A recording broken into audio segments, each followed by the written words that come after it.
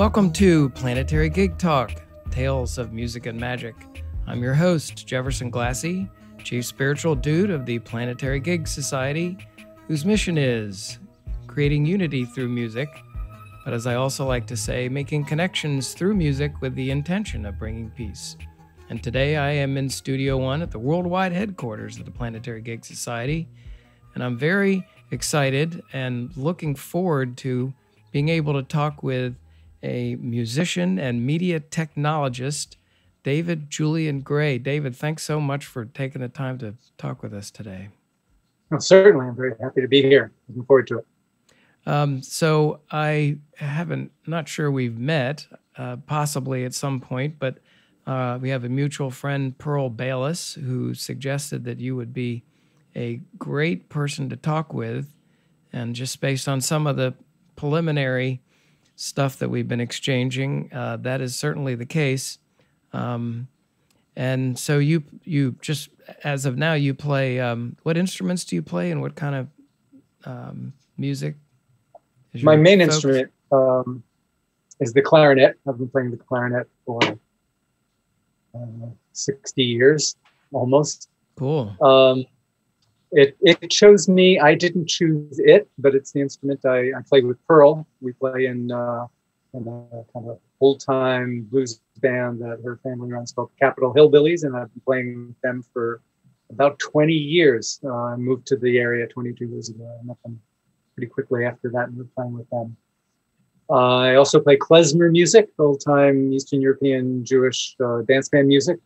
I played that. It was my full time gig for about a dozen years in cool. my 20s and early 30s. Uh, got to travel the whole world doing that, make records. Uh, got a Grammy nomination. We didn't win, but we got nominated. Awesome. And uh, you know, also play guitar and oud, mandolin, um, saxophone. But the clarinet has been the main one. And as I said, uh, I didn't choose it. It, it chose me. I, I played it in high school band, not very seriously. But then when I put myself out as a musician, hoping to make it as a you know rock guitar hero like some yeah. other yeah. Um, I was playing in various bands, and people would always say, "Well, what what else do you do? What else can you bring to the table?" I said, "Well, I play clarinet," and uh, people just kept saying, "Well, do that. We like that. Do that." So after a while, I found a repertoire I really loved on the clarinet, and decided, okay, I guess this was meant to be and that repertoire is uh, you know first the Jewish music, but that wasn't my entry into it. It was really uh, Greek, Greek, uh, old time Greek and Bulgarian dance band music. Through wow. that, I uh, I got more into the music of my own people, music that I heard as a little kid, and made that a specialization for a while. And still, it's the core of the core of what I do. Well, at least as, as a player, it's the core of what I do. Yeah, well, you're very eclectic musically. I wish I had all had been playing all that amount of time and had the background that that you've had or ability to to do that. Um, how did you kind of come into music? Was you did your parents um, play music? Was there a lot of music in the household? Uh, were they musicians or?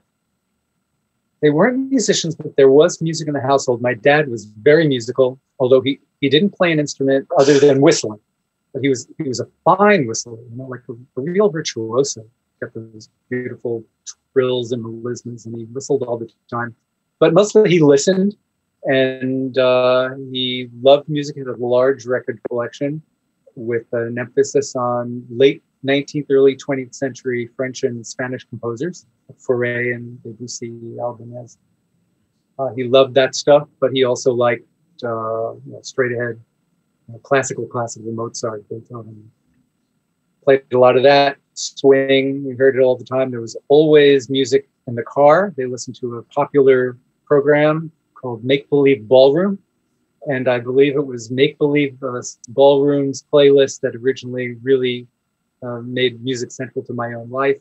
I remember this very well, uh, at least one occasion hearing Walter Huston's famous recording of uh, September Song, Kurt Weill, Ogden Nash song from the play Knickerbocker Holiday. And Walter Huston's really not a, a singer, a great actor, but he put that across. It was very popular, popular enough so that it was still being played 18 years after it was released, when I was four years old, and I remember hearing that one time riding in the car and just being so mesmerized. I'd never experienced anything so beautiful in my life. Just, I don't know if your listeners know the song, but you know, oh, it's a long, long time from May to December. The days grow short when you reach September. Famous song.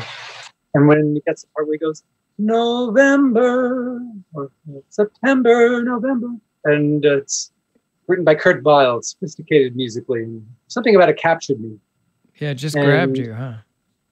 From that moment on, I just I'd never experienced such pleasure before. I was four years old, small enough that was lying on the back ledge of a 1952 Hudson Hornet, and uh, kids can't do that anymore, thank God.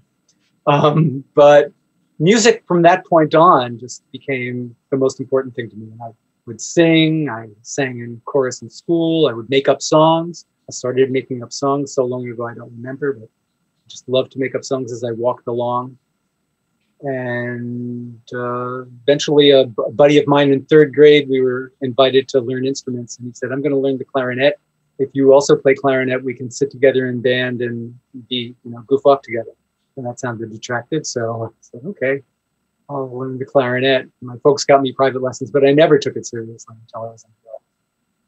Uh, I did take music seriously. Uh, you know, I, I got a transistor radio. My dad gave me a transistor radio when I was eight years old. I fell in love with rock and roll. Um, and uh, I heard Mike Bloomfield in the Butterfield Blues Band when I was 13 years old. And uh, that was again a, another kind of religious experience for me. I heard uh, East West by the Butterfield Blues Band. And that's when I became really serious about music. I wanted to live in that world. If I could create something like as exciting and immediate as that, the way he was playing like his life depended on it. And I felt that and I wanted to be part of that. You could create something so immediate.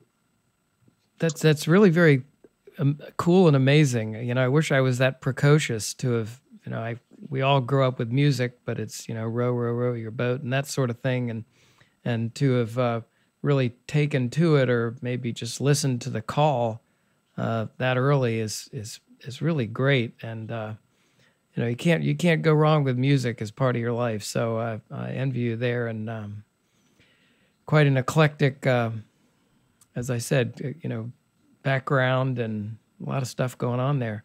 So, so for the last X number of years, you have been music has been your pretty much your life. You've been playing, traveling the world, doing all kinds of music everywhere. Um, well, I would say my whole life. You know, I do remember four is when it became my greatest pleasure and my favorite activity. Um, I, although I never practiced, much of that. I did manage to become a professional musician, and I traveled the world uh, playing music in my 20s and, and 30s, and then uh, through through doing musical research, I got into um, digital audio processing, and that gave me a second career that um, luckily was more lucrative than playing. But that's not why I pursued it. I pursued it because it was kind of grabbed me in a similar way in my uh, mid 30s it became a little more interesting. And luckily, everything just worked out. Uh, I've never looked for a job. I've always been given opportunities. So I realized it took me a long time, but I realized how lucky I've been. Most people don't have that. I don't know what else to call it. Grace. Uh, I've just been very, very lucky. Managed to do things I love and fascinated by. It's all worked out. Put two kids through school. What a house. What can I say? It's That's worked out. Yeah, very, very, very special. I think you are very lucky there. So, I also know that you're you're sort of a, a, student of of music, not just playing, not just listening, but sort of more in of a in a scientific um, area. I mean, you sent me some information that you've written about the Uber string theory, and you know, recently on on this podcast, we've been having some good conversations about things like music of, of the spheres and and uh, you know the the the fact uh, tone is sort of sped up rhythm or rhythm is slowed down tone and how how everything is made out of vibration. And I find that all that fascinating, and I'd love to just hear your take on some of your your basic, you know, thoughts, beliefs about, you know, music, vibration, how it all interrelates to us, life, you know, whatever you want to talk about, because I just find it fascinating. Well, it's absolutely true. Uh, um, I don't know what you can say. It's true, but I firmly believe, and I think there's a lot of empirical evidence to support this, and certainly a lot of subjective evidence that all that we experience as so-called reality is the intersection of vibrations. And when you're a musician, that that's you you are involved in that not in some very abstract way, like the way of an astrophysicist or a mathematician or a cosmologist might, but that but that's what you're doing. You're you're causing the air to vibrate. And if you're making music with other people, you're trying to find a pleasant and euphonic way for your vibrations to interact with their vibrations and it creates new things. As I mentioned, music was my whole life and I took it very seriously. And in as much as, uh, although I didn't practice, and, and become as great a player as maybe I could have, I still pursued it very seriously, and I studied um, music theory uh, in high school. And luckily, we, we had a path that you could uh, do that um, starting early on, so you could get to a pretty good level. And as a senior in high school, we started learning about um, the theories of a German music theorist named uh, Heinrich Schenker. Hmm. And Heinrich Schenker had a uh, um, method of harmonic analysis that, to put it in grossly simplistic terms, um, but not terribly inaccurate, just sort of simplistic, that um, pretty much all the world's music, and to him that just meant Western European art music, all the world's music is basically uh, three blind mice in the treble against uh, one, five, one in the bass uh, actually, I sang. I didn't sing that right. Um, um, um, um. So you have that in the bass and um, um, um, in the treble. And he came up with an analysis that was taken very seriously. It, it actually it, it has to do with the kind of tonal gravity concept. And the way my teacher presented it, uh, as if it really were, you know, gravity or like chemistry with balances and that resonated with me and it seemed to be true and as i uh, in, high school and then very very much so uh, uh, in my early 20s i started getting into many other musics from around the world uh, i'd been listening to them through high school but i actually started to learn um, well of course you know, old time jewish music which is a first cousin to um, you know, the gypsy cabaret music from Istanbul. That and the Jewish dance band music are, are first cousins, a lot of overlap in the repertoire. And Greek music has a, a lot of overlap. And then Romanian is like a second cousin, not much overlap, but very similar use of the modes. Uh, you know, these were not considered Western European art music types, and people said, well, you know, they follow their own rules. And I was thinking, no, they don't. they follow the same rules. They just, you know, they just are in a different corner and and there are these things there's of valence to it all. And if you you create a pitch, uh, if you establish a tonal center, and then you go off somewhere else, like like the most common mode. Uh, once you get to the uh, eastern edge of Europe, and certainly you get into Central Asia.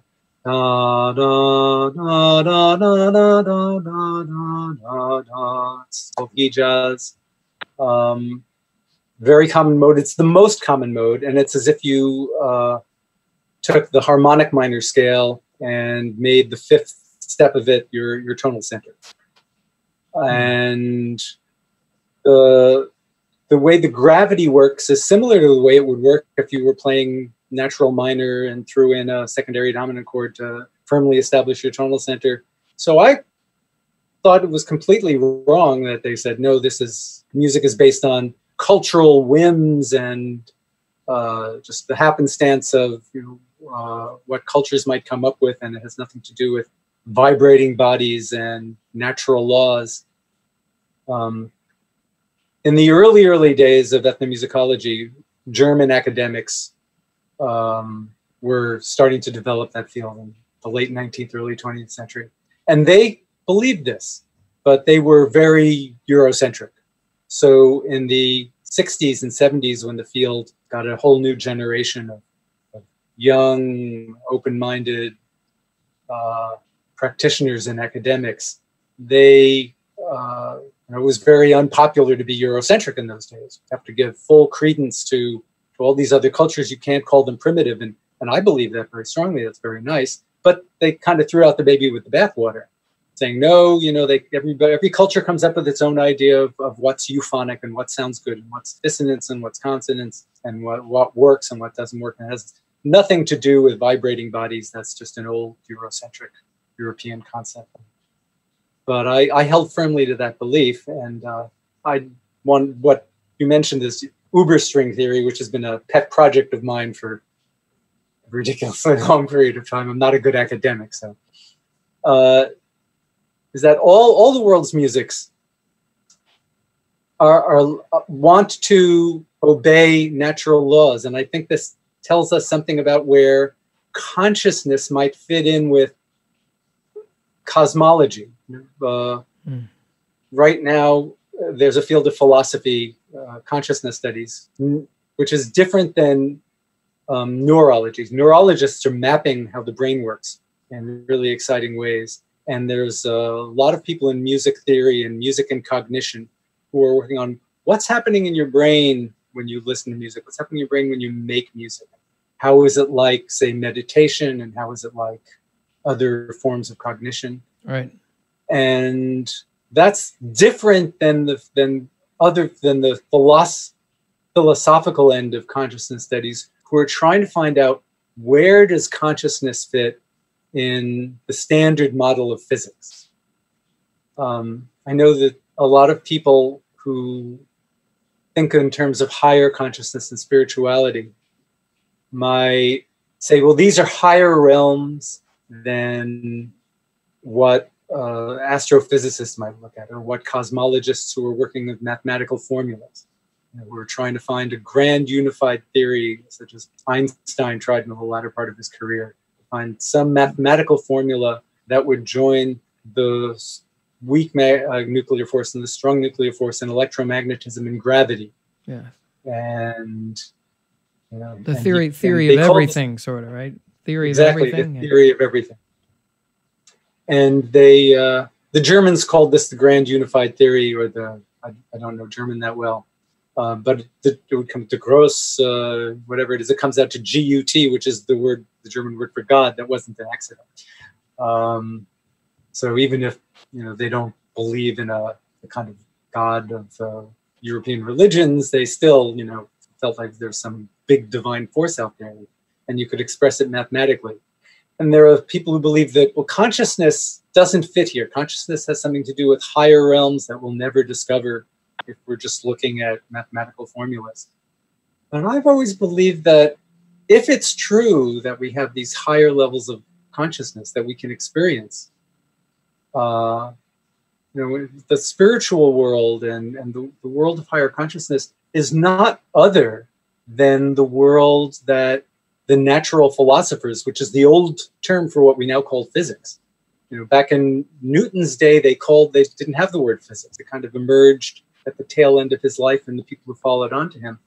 Up to his time, they called it natural philosophy, and so the, the world of natural philosophy should encompass these higher levels of consciousness, or or just I don't know if it's higher, just a, a deeper state and a more keen state of awareness.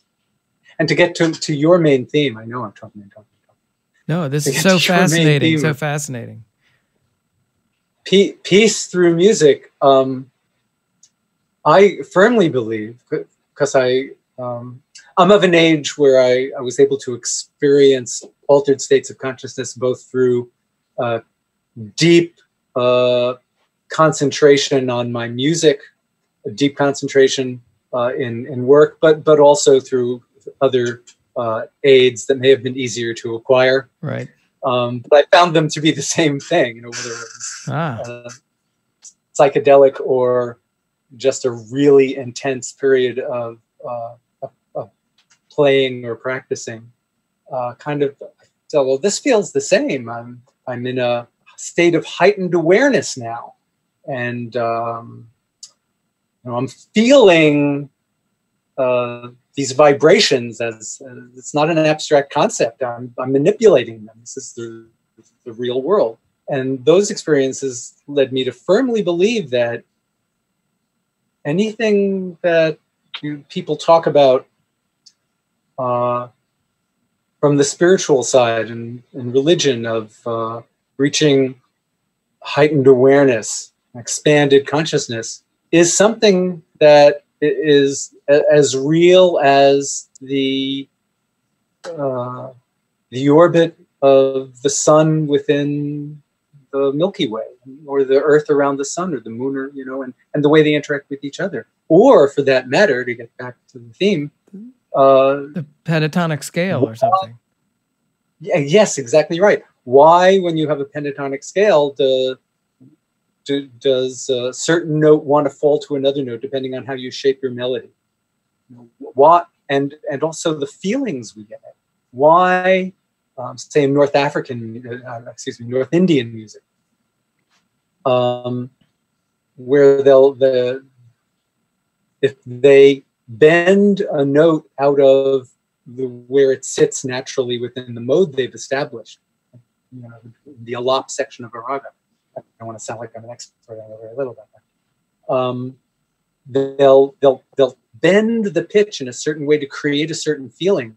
They study that. We, you know, in Western music, we don't really study that. But there are, uh, you can get very mathematical, and there are Indian um, music theorists who have worked out the math in ways that, uh, which is why I, I, thought I was on the right track, even though when I tried to go to school in the early 70s, they, it was out of fashion and they, they thought I was quaint and silly.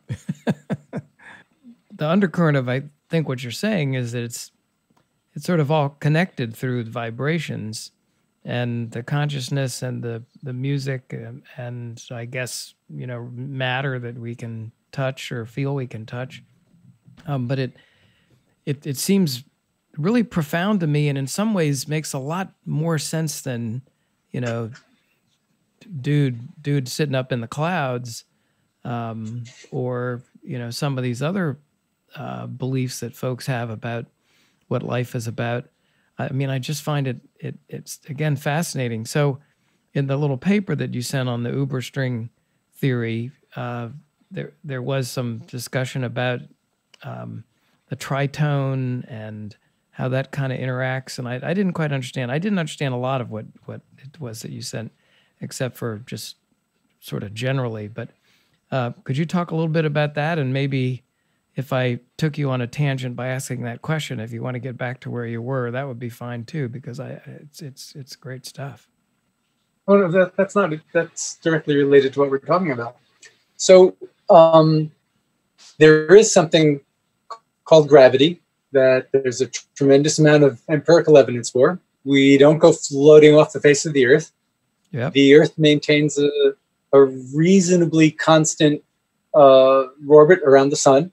Course, we know it's not really constant, and at some point in the far future, will get absorbed into the sun and burn up. And the same to the moon and, and asteroid belts and on a, on a smaller level, there's the the uh, forces within uh, the subatomic world, you know, and that's how we can speak to each other. That's I. Oh, that's interesting. That, that- my Um, bird clock. You might be hearing my bird clock. Ah, okay. so I have a thought in my head, and I know how to express it to some degree by making words. So I push some air up from my diaphragm through my mouth, and I create vibrations in the air. And these vibrations are caught by a magnet inside this microphone device in front of me, which turns it into voltages and it sends a, a wave of voltages into a little box on my desk that turns it into a series of uh, ones and zeros. And then it goes into the computer and it comes out and goes over the internet. But uh, so that's all vibrations and numbers, and it's it's related. It's different than, but related to. And Einstein Einstein spent a great deal of the last half of his life trying to get work out the numbers and never could. Uh, it's all similar to gravity and and the exact same thing as as the electromagnetic force. It is the electromagnetic force that makes this happen, but not when I not when I speak. That's that's all just physical, but it all gets translated one to the other, and it's all just vibrations interacting. And to get back to your question about tritones, so I think music in our consciousness, this is where it ties in with consciousness. When we hear, I'm going to try to sing a tritone. I don't know how good I am. Fa, di, fa, re. Fa wants to go to re. Ti, do. Ti wants to go to mi. Do, re, mi, fa, mi. Do, ti, do. Ti and fa are exactly a half of an octave. That's at least in tempered music, I'll get into that in a moment. Uh, they're half of an octave. Uh, if you divide scale uh, scalar steps, if you give scalar steps numbers, um, you have a, a, fifth, do, fa, and you have a fourth, excuse me, do, fa, and do, sol, sol, do, sol. It's a fifth. In between fa and sol is halfway between an octave between a fourth and a fifth and augmented fourth. That's the tritone, and you get it naturally between fa and ti. Ah. Now, what's when you establish, when you create um, a context, because all these things only exist in context. You have to. That's why where consciousness comes in. When you create a context that we have a tonality, like do re mi fa sol la ti do ti fa sol fa mi re do ti do ti do. So I'm establishing do, but you know, I just picked a note at random. I don't have a perfect picture or anything like that. But I create a context where fa and ti now have natural, uh, another you know mixing gravity and the electromagnetic force. But in chemistry, uh, we call we talk about valences, where unstable compounds want to you know bond with with other elements that might be in the area and become other things. So fa and t are the tritone and they want to resolve. They create a tension that our minds want to resolve.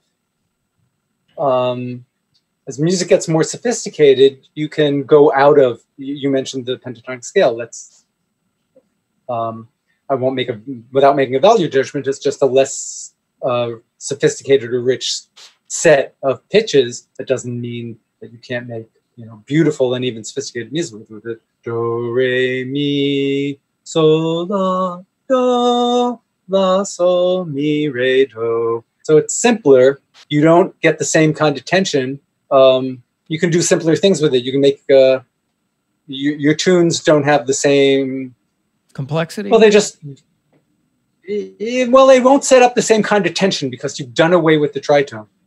That's what ah. that's what you don't have. You have five notes instead of seven. What you're missing is that tritone. You're missing so uh, you can float in space with greater ease. You're not creating expectations. The, the thing is, when you create a tonal context and you introduce the tritone that exists in that tonal context, you're creating an expectation that that the note will go somewhere. Before we had pianos and Western European art music, uh, every, you know, do, re, mi, uh, starting uh, was all those notes just existed in relationship to the do. And then equal temperament came in as European composers wanted to try fancier things. Basically, what they wanted to do is they wanted to borrow T from another key so they could establish another note as do, either temporarily, maybe just for a measure, maybe just for part of a measure. Bach does it all the time. He's he's the master. To me, and I, have listened and played and studied music from all over the world, and uh, you know, I, I've listened to great oud players from Iran and, uh, and Iraq and, uh, and, Turkey. And I've listened to Ravi Shankar and uh, Ali Akbar Khan a lot, and, and of course many lesser musicians, and of course all the greats. But to me, uh, Johann Sebastian Bach was the, the, greatest, grandest revealer of the divine in music of all time. Wow, wow. He would play this, this he would play with this concept all the time even one of his simplest pieces, the first piece from the Well Tempered Clavier, um, Prelude in C major. Find it on eBay on YouTube. it's easy, easy to find. Uh, Prelude uh, number one in C major from Well Tempered Clavier. Um, it's a very simple piece, but he he goes he sets up some really interesting uh, tensions by playing with the tritone. He's got a couple of times when he has a chord that has two tritones in it because he borrows notes from other kids. That's where it comes from.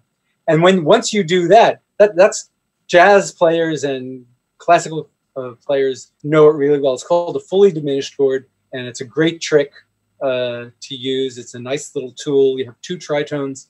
There are four natural. There are four perfect resolutions from a well an equal tempered fully diminished chord. Because tritones can either implode or out or explode depending on the the context. If you're if you're not in tempered music, if you're in justly intoned music, fa wants to go to mi, fa mi, and ti wants to go to ti do. Um, you don't have a choice. Ti's going to go to do, is going to go to mi. But if you're tempered, which is all the notes are out of tune, but they're out of tune in this very mathematically precise way, so that our ears trick us into thinking, well, they're, I think they're in tune. And all the music you hear, all pop music made with computers and all orchestral music of the last 200 years is, is equal to 200 50 years is all equal tempered. And what you can do with that is you can take your fa t and fool people into thinking, nope, it's not the fa t that I told you it was two minutes ago. It's t fa, and instead of uh, exploding, it's imploding, and you go to a whole other key.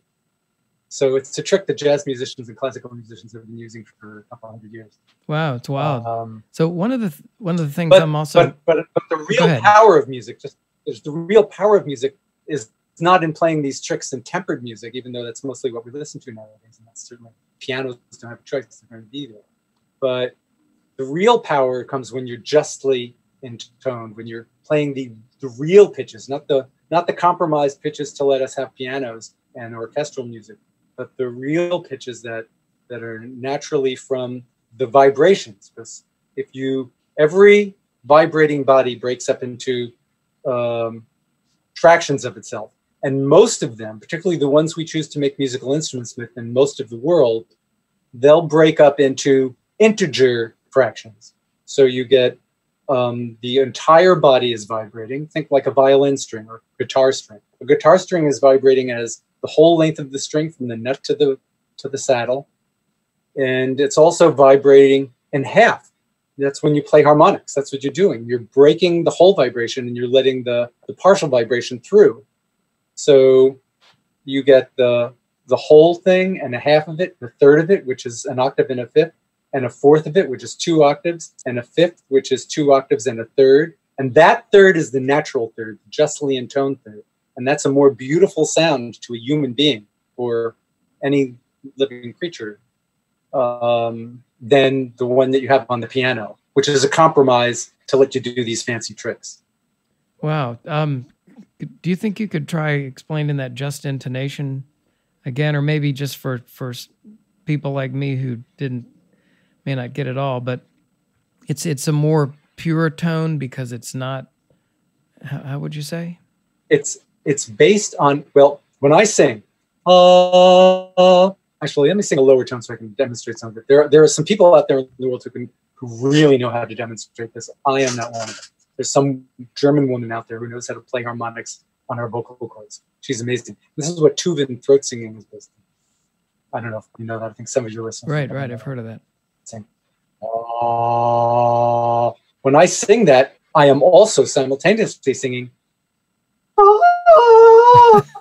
right. Except that out of tune. I told you I couldn't do it, but the idea is that every vibrating body, whether it's my vocal cords or a violin string or a brake shoe. Uh, you decided you wanted to put uh, uh, a violin bow on a brake shoe. They make very nice tones. Um, Mhm. Whatever it is, breaks up into fractions of itself. And most of the materials we decide to make musical instruments with, like um, you know, strings of uh, steel or nylon and uh, uh, you know wooden tubes, uh, silver tubes. You know, many flutes are made out of silver or whatever it is. Bamboo. These materials they break up into the integer fractions. When they break up into fractions, which they all do, the materials we find sound good, and this is why we they sound good. They break up into the integer fractions, and the half, you know, so one to one is the whole thing, and that's your fundamental tone. One to two is the octave. Right. One to three, when it breaks up into thirds, or three to one, is an octave and a fifth. That's, and then uh, you get an octave and a fifth, then you get the second octave, two octaves and a third. Uh, then you get uh, is that? Uh, when you go. Then you get another octave. That's uh, three octaves, and then you get um, the ninth. I believe is a second, and uh, then they start getting too high to hear. So a lot of people, and that's what we call just intonation when it's based on the vibrations. And what where I differ with many other uh, people who talk about this as part of music theory is they'll go out to and say, well, you know, 16 to 1 is well 16 to 1 is an octave so that's easy. Well 17 to 1 is such and such a pitch. I'm not exactly sure what 17 to 1 is. But there those pitches are so high because you break you know if, if at 8 to 1 you're already three octaves above you know by the time you get to 16 that's four octaves. 17 you're uh you're you're getting hard to to tell a pitch at that point. It's just Uh-huh. way too high. Um but the first 11 overtones, you get a lot of octaves in there, a couple of fifths, make a dominant seventh chord, which has the fir- your first tritone in it. So if you were, if C is your main, your your fundamental pitch, if you play a C on a on a really on a good instrument that has a very rich tone, certainly an oboe or a violin, which are, which are very rich in overtones, um, you're actually playing a dominant seventh chord that wants to resolve.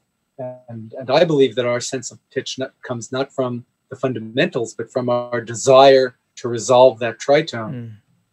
Then you actually, if you do that, then you can get do, re, mi, fa, sol, la, ti, do, and all the modes that are built on that, like uh, the minor mode and Dorian, which is a lot of music is in. And then um, the other more complex modes like this Hijaz I mentioned before, which is in, in uh, the Gypsy and Jewish music that I love so much. Uh, that's borrowing. So, say you were in uh, A minor, and in order to, to get the T of A, you borrow your G sharp from uh, the key of A major. Um, but you you take the justly intoned version, and that's what I find in the little analysis I've done. What folk musicians and uh, the classical musicians of the Arabic, Persian, and Indian traditions uh, that's what they're doing when they play their more sophisticated lines and they borrow notes from other modes to get those, those feelings in there. They're playing them justly in tone. Those musics are justly in tone. Um, I've just again, it's just really fascinating. Um, but let me kind of ask. So it, it seems to me that this this type of information is really important. It's sort of complicated for a lot of people, obviously, me. But uh, what do you think there are things that we could do to, you know, get more understanding about music out there, and what can we do with more understanding about music to really kind of, you know, maybe make things better on the planet? I mean, it seems to me that there may be a connection there. Does that does that fit? Is that a question that makes sense to you?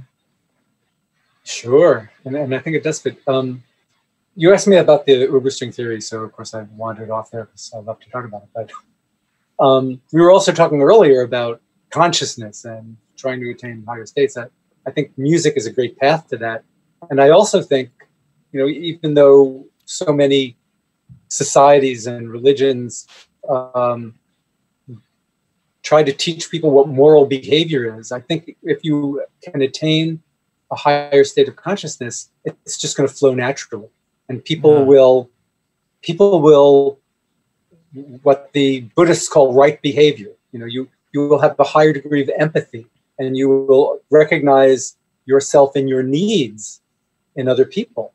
And so, the your first question is, what, what can we do with music to, to try to have a more peaceful and empathetic world?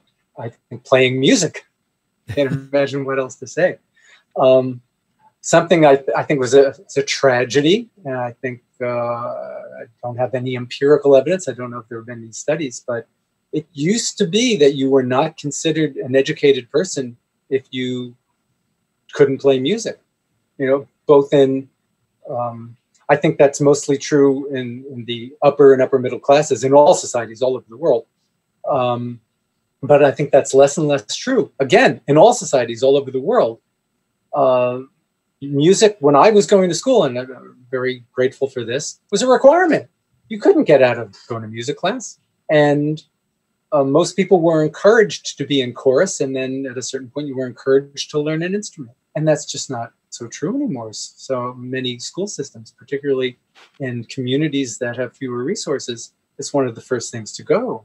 And I think that's Right. that's wrong because um, you know people need to learn how to read and add, uh, you know, and do, do basic arithmetic and math. math. But um, I don't think people need to pass standardized tests more than they need to to know how to harmonize with their neighbor. Ah, yes. You you you'd you'd go to a chorus and and you'd sing one part and the and the altos would sing another part unless you're an alto that's what part you're singing but you you'd make harmony uh, or at least you'd make a nice unison your teacher would try to make sure everybody was singing the same pitch and i think that that leads to a greater degree of empathy than than learning morality out of a book Boy, that's that's pretty profound. It, and it makes sense to me. It's almost saying, you know, when you're when you're playing uh, music, singing, making, harmonizing with your friends and neighbors, it's it's hard to. I mean, you're you're you sort of are automatically empathetic. You're automatically more in a um, harmonious situation than, you know, fighting one another. That sort of thing. It just makes sense. I, I think so. And as I mentioned before, your your everything's vibration. You mentioned at the beginning here we that the whole world, you know, our perception of whatever this reality is and, and our existence is all the intersections of, of various vibrating bodies. And that's what superstring theory is about, is that there are these strings and, and the way they interact creates this illusion of, of reality and, and solid space. When you're playing music, you're directly manipulating vibrations that, of the air. And the way they interact uh, can create tension and resolve tension. And uh, when you do it with a, with other people, or when you do it in a performance for other people, but I think even better than that is to make music with other people. Um, the way you resolve those tensions uh, can be a source of delight. Of course, you know there are perverse people who will do the opposite. But I think the main goal is to surprise, to to try to res- to create um, some sense of beauty, um, or you know, if it's not beauty, humor, whatever it is, or or just to express a feeling. Maybe uh, if you're down, uh, you just need to express that, let other people know, and there's you know maybe less beauty and less resolution of tension, but it's a way of drawing people to you that you know this guy needs some support in some way, some companionship. It makes makes But a it lot. should Of, be beautiful. yeah, it absolutely makes a lot of sense. All right, well, I really do appreciate it, uh, David Julian Gray. Uh, thanks so much for taking the time. You know, we're I think we're all doing the best we can here, and music is certainly a, a good way to go about it. So, thank you very much. All right, thank you. Thanks for doing this. I appreciate it. Take care.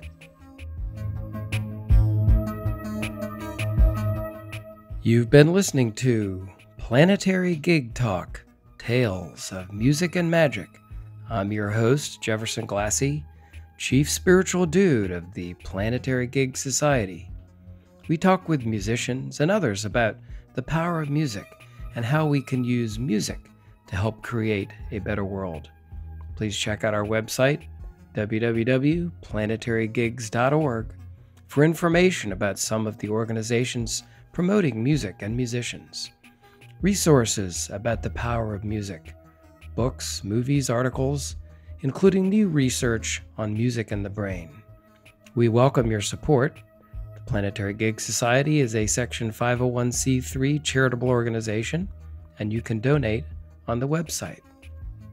You also can receive a free email signature block demonstrating your support for Planetary Gigs Society. Please follow us on Twitter, Instagram, and Facebook at Planetary Gigs. And we want to thank fabulous musician and teacher Eric Weinberg of Little Eric Studios for the Planetary Gig Talk music titled Chill Kid, It's Saul. So please check out Planetary Gig Talk on iTunes, Google Play, and Stitcher. Subscribe and hear all the upcoming episodes. Thanks very much.